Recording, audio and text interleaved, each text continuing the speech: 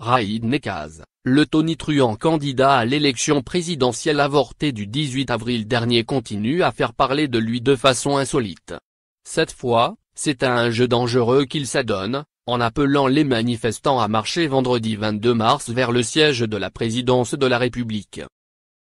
Dans une vidéo publiée sur sa chaîne YouTube, Raïd Nekaz, qui a déposé son dossier de candidature au nom d'un homonyme pour contourner la loi qui lui interdit de se présenter, dénonce le report de l'élection présidentielle et insinue que cette action visait à l'empêcher de gagner le scrutin.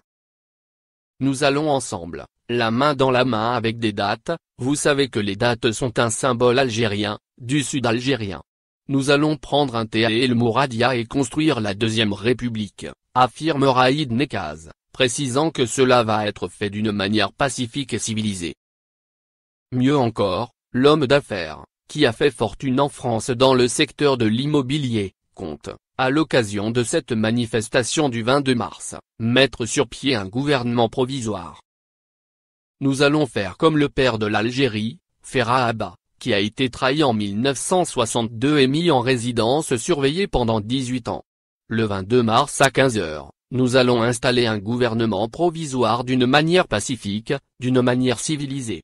Ici, ce n'est pas la Syrie, ce n'est pas la Libye. Ici c'est l'Algérie, le pays de l'Arbi Ben Midi, a fait savoir Haïd Nekaz. Pour lui, le système ne veut pas entendre le peuple. Au lieu de répondre aux revendications populaires, il installe un nouveau gouvernement. Ils ont installé Bedoui comme Premier ministre, c'est lui qui m'a mis en résidence surveillée depuis 2016. Et la Mamra comme vice-premier ministre, et c'est lui qui m'a empêché de me présenter aux législatives de 2017, estime-t-il.